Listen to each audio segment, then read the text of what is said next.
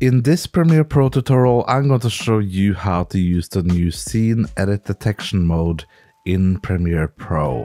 And I'm going to explain how to use it and show you the settings as well. My name is Vegard and on this channel I make a lot of filmmaking and video editing tutorials so make sure to subscribe and hit the bell so you don't miss out on future videos. Now I'm going to show you how to use this and I got a video I edited a while back.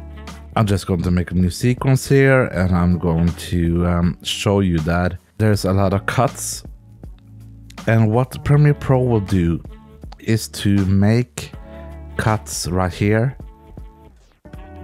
Here, you get a point.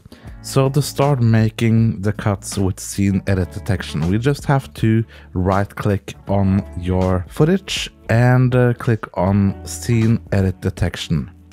Now you will get some options here and you can apply a cut at each detected cut points. So the uh, artificial intelligence in Adobe Premiere Pro will uh, apply a cut at each cut in that uh, video.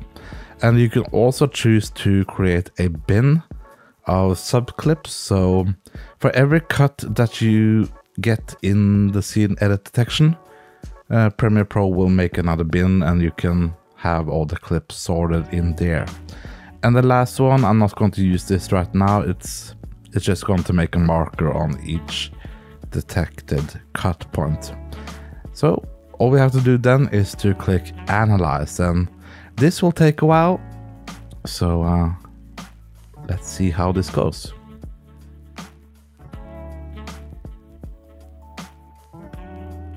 So after Premiere Pro is done analyzing the footage, you will see that we have cuts, automatically cuts on each clip right here.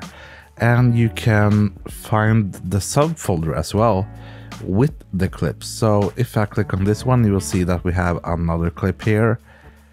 It's really handy to work with on old projects where you maybe need uh, separate clips from that old project. On the screen right now I have some more tutorials on Premiere Pro.